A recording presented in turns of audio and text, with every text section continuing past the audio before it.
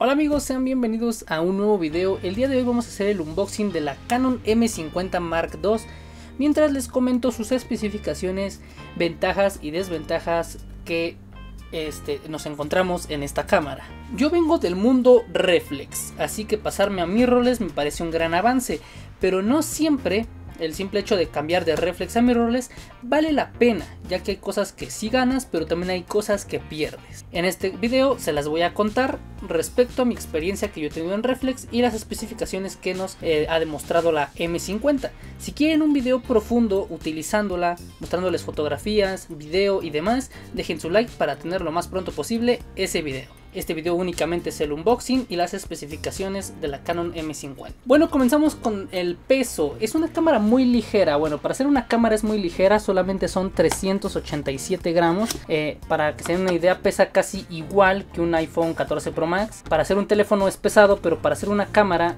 es muy ligera. Así que por si quieren, bueno, es la referencia en cuestión del peso, es como un 14 Pro Max. Ya con el lente incluido, tengo entendido. vean, aquí tenemos nuestra póliza de, garantía.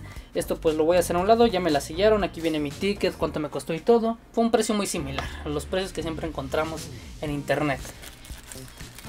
Tenemos, bueno, aquí podemos, encontrar su correa. Está muy bonita. Está muy bonita, pero ando pensando en ponerle una de Nikon para verme traidor. No, no es cierto. Ya veremos si le pongo esta, a ver cuál le pongo. O una personalizada. Eh, tiene un sensor de 24 megapíxeles SMOS, que prácticamente es APS-C. O sea, no tenemos full frame, tenemos sensor pequeñito. Tenemos videos Full HD a 60p en la resolución de 1080 y tenemos video en 4K a 24 FPS, lo ideal, lo que normalmente se usa en cine, pero con un recorte. Así que tampoco es lo mejor en video, tampoco es la mejor en foto, pero es una gran cámara que se complementa bien con ambas cosas. Es una cámara que se complementa muy bien y eso la hace muy vendida y eso la hace una muy buena cámara. Hay muy pocas cámaras que se compensan bien entre foto y video y esta es una de ellas. Tenemos su cargador, es más pequeño que el de una reflex. Ay, casi, venga, imagínense que ahorita estrella algo.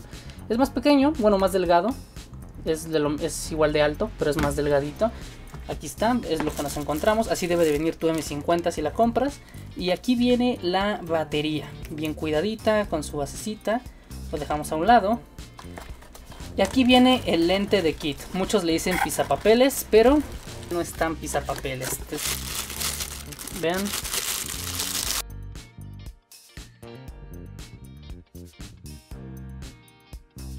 ¿Cómo le hago? Pues hay que comprar un adaptador la marca Viltrox es muy recomendable, el adaptador.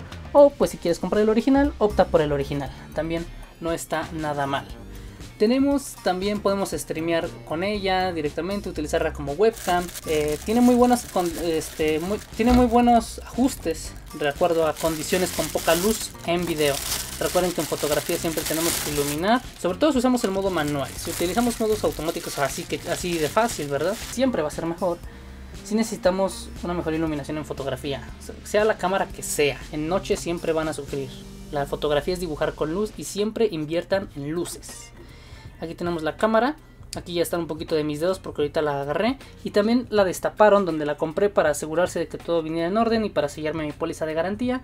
Esta cámara ya nos puede dar 10 fotos por segundo, a diferencia de la 77D que era la cámara que yo usaba antes, que creo me daba 6 fotos por segundo. Tenemos el procesador Digic 8, no es el más veloz, el más veloz de la marca es el Digic X, pero no está mal, porque una Canon T7 tiene un sensor todavía, digo, tiene un procesador todavía más viejito que es otra de las cámaras muy vendidas. Y creo que es todo lo que hay en la caja. Solamente aquí venía, aquí debe de venir tu lente, aquí tu cuerpo, la correa, el cargador y la batería así debe de venir y la vamos a, cerrar la caja, bueno la vamos a hacer a un lado y vamos a pasar a la cámara, me regalaron algo, quizá esto no sea muy relevante, y esto no sea muy relevante pero me regalaron una correa de EOS R, un llavero más bien, y también me regalaron una bolsa de, de la EOS R3, igual es una bolsa de esas que, que llevas a la tienda para comprar la Coca-Cola, que las abritas, demás. Y bueno, vamos a hacerla a un lado la caja.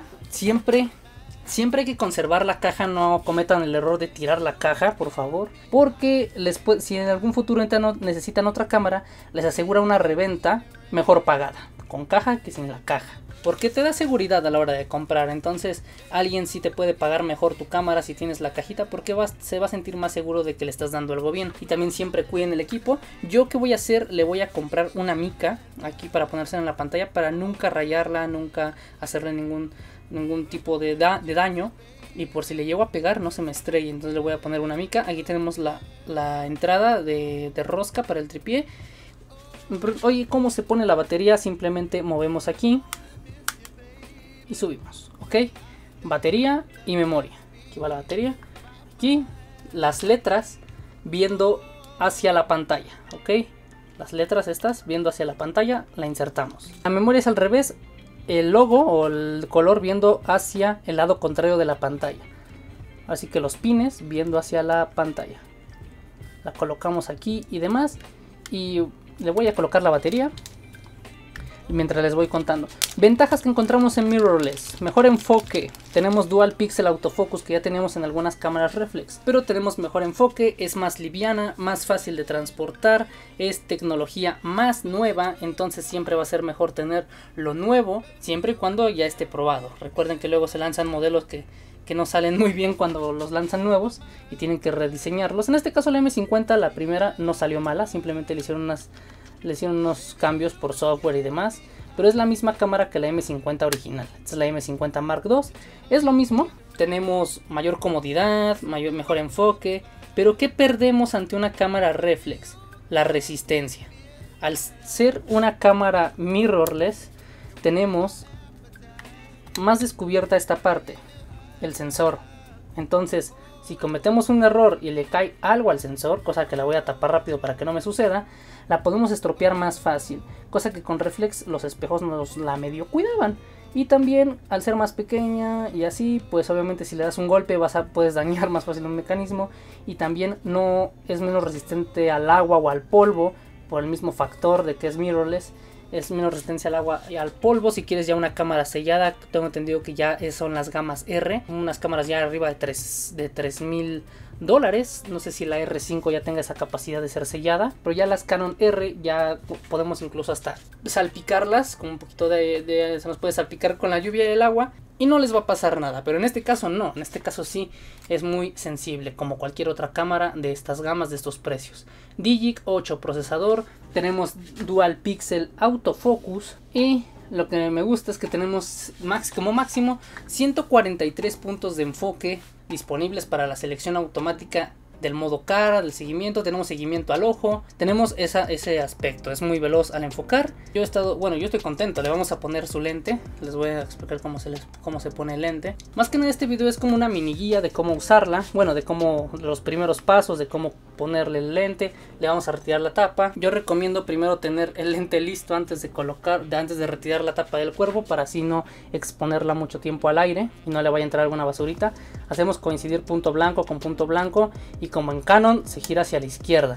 En Nikon es al revés. Y vean, es muy compacta, no es muy pesada, mucha comodidad. Ventajas, ya dije, el enfoque, eh, tecnología nueva. Desventajas, va a ser menos resistente que alguna reflex como alguna 77D, una 80D, una 90D. Si ustedes buscan un poco más de resistencia, están esas opciones. No es mal salto, ¿eh?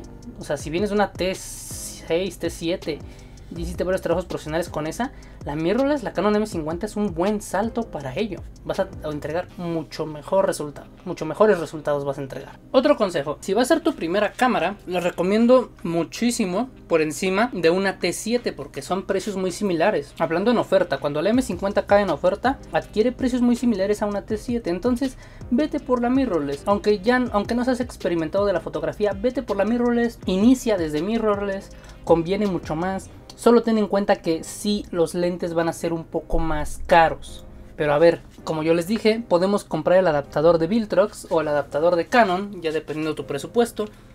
Y puedes comprar estos lentes. Estos lentes EFS son muy económicos. Por ejemplo, este, este 55-250 lo venden nuevo en tiendas departamentales hasta en 7 mil pesos. Pero de segunda mano, como ya tiene este tipo de lentes ya tienen un gran recorrido a lo largo de la historia de las cámaras, ya tienen muchísimos años que los, que los lanzaron y se vienen fabricando desde hace muchísimos años. Los podemos encontrar muy baratos. Por ejemplo, este lente lo puedes encontrar este, eh, desde 1500 hasta 2 mil pesos mexicanos, muy barato. Y nuevo está en 7 mil, nuevo está en 350 dólares y de uso lo podemos encontrar incluso hasta en 100 o en 75 dólares, imagínense. Está muy económico, no, estos no los compren nuevos, realmente son muy caros. Te conviene más comprar uno de mirrorless, ¿no? Por lo que vale, por lo que nos venden estos, estos lentes. Son muy devaluables, entonces si es tu primera cámara, y eres aficionado o va a ser para tu familia y quieres un lente extra, compra estos y el adaptador o también compra el 50 milímetros igual EFS igual de uso en segunda mano. Hay muchas tiendas que venden segunda mano y son muy confiables tiendas físicas porque en internet igual me los pueden estafar así que tampoco se me arriesgan. Visiten alguna tienda física prueben ahí los lentes. Yo es lo, es lo que yo voy a hacer. Yo ya no soy aficionado yo soy un fotógrafo ya me considero profesional porque ya gano dinero de ello. Entonces creo que te conviertes profesional cuando ya ganas dinero de esto y aparte lo haces bien entonces yo la veo como un gran paso. convertimos totalmente la cámara y el enfoque no, no cambia. Sigue siendo el enfoque muy preciso. Y si eres la quieres para tu familia, eres principiante, igual viene bien. Y si también vienes de reflex de cualquier Rebel, Canon T6, T7, T5i, T7i, T8i, lo que quieras, también conviene, vale la pena la M50 porque te vas a adentrar al mundo mirrorless, al mundo de la nueva tecnología, al mundo de lo último. Tenemos entrada para micrófono, tenemos entrada micro HDMI, le podemos comprar un grip. La empuñadura, les voy a ser sincero, no es muy cómoda, ¿eh? es muy pequeña la empuñadura. Yo que tengo manos pequeñas me basta. Pero si tú tienes manos muy grandes, cómprale un grip y le puedes agregar más cosas. La vas a, la vas a hacer ver más grande y aparte le vas a poder agregar más cosas cómo retiramos el lente. Este botón lo tienes que apretar bien, tiene que tronar. Giras hacia la derecha y guardamos, ¿ok? Así de fácil y rápido, enroscamos. Si no estamos utilizando cuando estamos utilizando la cámara con el lente, nuestra tapa de cuerpo y nuestra tapa de lente se, se fusionan para que no la perdamos. Ok, colocamos desde cualquier punto donde haga contacto, giramos, listo. Ya nuestra cámara igual la tapamos con el punto negro, este hoyito, este orificio que tenemos aquí, y giramos hacia la izquierda, como si fuéramos a poner un lente. Y todo el momento recuerden, limpia, Ténganla limpia, tengan un lugar donde no le dé el polvo, cuídenlo mucho, cuídenla, cuídenla, cuídenla mucho. Mi nombre es Raciel Blue, nos vemos en el video de probando esta preciosura de cámara. La mejor cámara para iniciar y sobre todo para trabajar en fotografía. Mejor cámara calidad-precio. No estoy diciendo que sea la mejor, que sea la peor. Es la mejor calidad-precio sí o sí. Se has experimentado, es muy barata y es una tecnología nueva. Sí o sí es una calidad, es una cámara calidad-precio. Siempre, siempre, siempre y cuando la encuentres pues en, una, en un buen precio. Debajo yo diría que debajo de los 15 mil pesos mexicanos vale completamente la pena. Estamos hablando de si está por debajo de mil dólares en México, adelante. Si está por en mil dólares o más, ¿saben qué? No, la R10 viene mejor. ¿Sí? En este caso yo la compré al contado, también tomen en cuenta eso, si la van a comprar al contado, en pagos, si en pagos no sube el precio y demás, tengan mucho en cuenta esos aspectos, pero es una cámara 100% muy, pero muy calidad-precio. Mi nombre es Blue, nos vemos en un siguiente video. Hasta la próxima, adiós.